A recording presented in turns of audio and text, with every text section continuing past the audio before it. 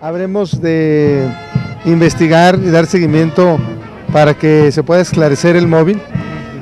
Tenemos que hoy más que nunca estar en una actitud solidaria con la presidenta de Gómez Palacio, Rocío Rebollo, decirles que pues desde aquí le manifestamos todo nuestro respaldo.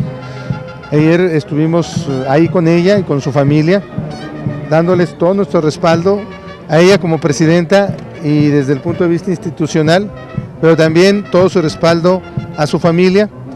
Creo que pues son eh, situaciones que se vienen dando por pues, motivos de las acciones que se están realizando por parte de los tres niveles de gobierno. Y pues tenemos que estar muy unidos, ser muy firmes y pues como les decía, ir en esta investigación hasta sus últimas consecuencias. Y tanto Rocío como toda su familia, ayer se lo retiramos de forma personal, tendrán todo el respaldo de mi gobierno. Al cuestionarle al gobernador del estado, Jorge Herrera Caldera, si la vida de la alcaldesa Rocío Rebollo corre peligro, esto fue lo que comentó. No creo, eh, definitivamente ella trae ahorita una, pues, uh, un buen equipo de seguridad y pues esperamos que eh, con la acción que se viene realizando en la comarca lagunera de los tres niveles de gobierno pueda volver la calma y la tranquilidad, que es lo que estamos trabajando intensamente para que esto suceda.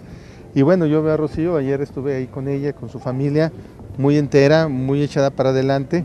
Creo que hay que resaltar esa característica de Rocío, que realmente una, una mujer con mucha, pues eh, ahora sí que fuerza, muchísima fortaleza, y creo que eso es lo que necesita también el pueblo Gómez Palacio, una autoridad fuerte y que te, será respaldada al 100% por mi gobierno, pero también respaldada al 100% por el gobierno federal.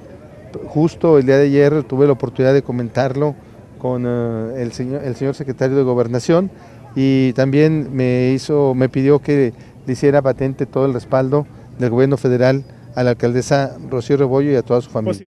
Asimismo, dejó claro que Rocío Rebollo no renuncia a la presidencia municipal de Gómez Palacio. De ninguna manera, creo que hoy más que nunca es uh, muy importante el que su liderazgo en la presidencia siga adelante y así será, va a cumplir todo su mandato.